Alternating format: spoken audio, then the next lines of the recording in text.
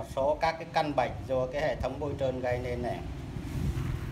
Ở động cơ D8 chủ yếu nhất đấy là bôi trơn do cái trục khuỷu. Rất là khó bởi vì là nếu mà mất áp ở đây ấy, mất áp ở đây thì là anh sẽ không phun vào trong trục khuỷu được. Bởi vậy cho nên là khi mà cái trục khuỷu mà hơi lỏng một chút thì là anh cũng đã bị bó bạc pin và anh, anh não sạt ra ấy là mòn rất nhanh là động cơ không làm việc được, chỉ có cưng luôn. Thế bây giờ tôi nói này, từ cái bơm này anh bơm đầy lên đây, xong anh đi lên trên này đến bôi trơn cho trục khuỷu xong cái đường này anh đi ra đây để anh vào cái lọ này, để bôi trơn cho mặt cái lát. Đây. bôi trơn cho mặt cái lát. Cái chỗ này là cái chỗ cực kỳ quan trọng mà tất cả các người thợ là đều dính. Đây. Cái lọ này được thông qua lên đây. Thông qua lên đây. Thông lên đây và được ăn khớp với lại cái lọ dầu đây. Cái lọ dầu vào này lọ này ấy, là ăn thông lên trên cái lọ này. Đây người ta khoan một lỗ này. Ta khoan thẳng đây và đây một lỗ xong người ta khoan đây và đây một lỗ thế là cái đường đi từ đây, chạy lên đây, chạy vào đây vào đây. Thì cái lỗ này được ăn thông. Ra cái nắp này. Đây là cái nắp. Thế thì cái nắp này có một cái lỗ rất bé. Và đồng thời là cái chốt định vị luôn. Các bạn thấy đấy cái này chốt định vị vào đây. Thế thì là dầu bôi trơn sẽ đi vào đây và phun ra cái lỗ đây đây các bạn nhìn thấy. Cái lọ này sẽ phun vào trong cái dàn xúc pháp thế, cái chốt này đấy, có một cái lọ đường kính khoảng độ 1 mm đấy. Thế đại đa số là cái lọ này mà tịt. Thì anh không bôi trơn vào đây được. Thì cái hệ thống xúc bắp làm việc rất là chóng chóng hỏng và hay bị hở. Đấy cái chạy một thời gian là lại lại bị hở. Với lên mòn cái đuôi xúc bắp này này cái bệnh thứ hai là mất cái chốt này đi. Đại đa số tôi thấy ở một số các cái máy của những người sử dụng mà không quyền ấy, mất cái chốt này đi thì các bạn lại đóng cái chốt khác vào là hắn ông tịt luôn. Hoặc là một số lại không đóng cái chốt này vào. Không đóng cái chốt này vào thì cái lỗ này anh thông thông hoàn toàn cho nên là dầu bôi trơn từ đây đi qua đây được bao nhiêu là tống ở đây hết thế là lúc bây giờ mất áp ở đây.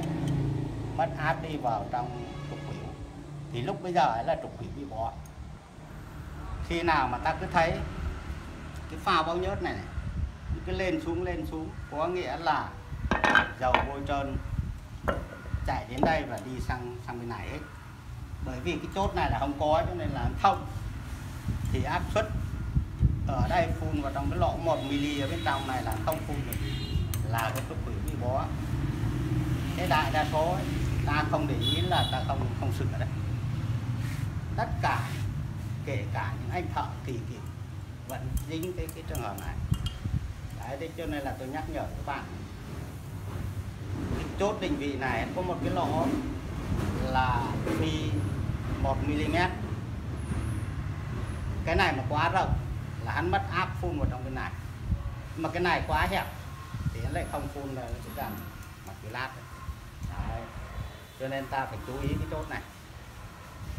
Làm nào ấy nếu mà mất cái chốt này thì ta phải chế tạo một một cái chốt khác mà cái đường kính nó vừa vừa 1 mm để cho khi mà dầu bôi trơn đi qua đây được phân áp ra hai bên là đều như nhau thì lúc bây giờ ấy, là xúc bắp vừa có dầu bôi trơn nhưng mà đồng thời cực khuỷu là được bôi trơn tốt nhiều rất nhiều ca tức là sửa mãi không được. Mặc dù là dầu bôi trơn kể cả anh thay bơm mới thay bơm mới nhưng mà bơm vẫn không phun vào được trục quỷ chính là đồ này này.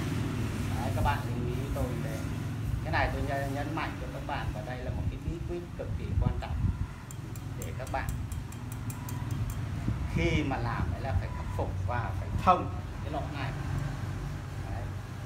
nếu mà đây tịt thì cái dàn phương pháp sẽ hay bị hỏng và hay bị hở. Còn đây mà bị quá rộng hay là không có cái chốt này nữa, thì là bị bó trục biểu đấy là lẽ đương nhiên. Đấy là một cái bệnh mà ở cái máy D8 mắc rất nhiều. Và đại đa số những người thợ mà chưa dính đến bao giờ là không biết được. Còn những người người ta đã biết rồi, thì người ta cần chế tạo ra một cái cái như này là người ta đóng vào vừa, cái là là là sẽ bôi trơn được. Còn đại đa số là không khắc phục cái này thì cái trục quỷ không bao giờ được. Đấy.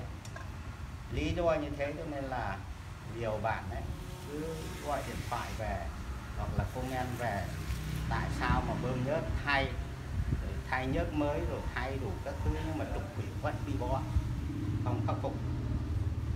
Nhưng mà tôi không thể giải thích bằng mồm này, mà ở tại.